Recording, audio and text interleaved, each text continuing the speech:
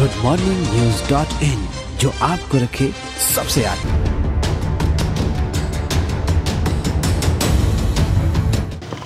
मित्रों, आज जो महागठबंधन ने जो घोषणा पत्र जारी किया है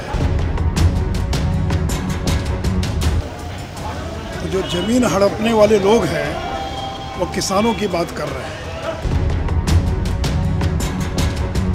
ये सीपीआई सीपीएम वाले जिनका नारा ही था ज़मीन हड़पो तो ज़िंदगी भर जो पार्टियाँ किसानों की ज़मीन हड़पती रही, वो ज़मीन की किसानों की बात कर रही है। जो लोग पैसा लेकर नौकरी देते रहे, वो लोग नौकरी की बात कर रहे हैं।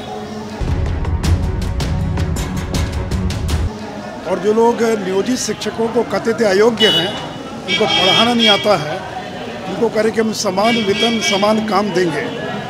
तो मित्रों, एक पौराणिक कथा है, डपोर शंख। डपोर शंख का था, केवल बोलता था, केवल आवाज़ करता को देता नहीं था।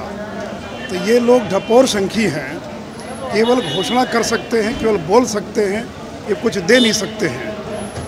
बलात्कारियों को जिन लोगों ने टिकट दिया, अपराधियों को जिन्होंने टिकट दिया, वे वो लॉ एंड ऑर्डर की बात कर रहे हैं। तो जिनको पंद्रह साल मौका मिला राज करने का, उन्होंने बिहार को बर्बाद कर दिया। और अब कह रहे हैं कि हम चाँद को ज़मीन पर उतार कर ले आएँगे, नौजवानों को चाँद पर ले जाएँगे। देखिए, संस्कृत की एक कहावत है, वदामी च ददामी ना। वदामी च यानी वद यानी बोलना। मैं केवल बोलता हूँ, वदामी च, ददामी ना। मैं केवल बोलता हूँ, मैं कुछ देता नहीं हूँ। तो ये वही लोग हैं जिन लोगों ने पंद्रह साल राज किया तो केवल बोलते रहे, दिया कुछ नहीं। इसलिए देखिए, लोग ऐसे लोगों पर भरोसा नहीं करते। आपकी विश्वसनीयता चाहिए, आपकी क्रेडिबिलिटी चाहिए। आपको जब मौका लगा तो अपने क्या काम किया लोग उससे तुलना करते हैं।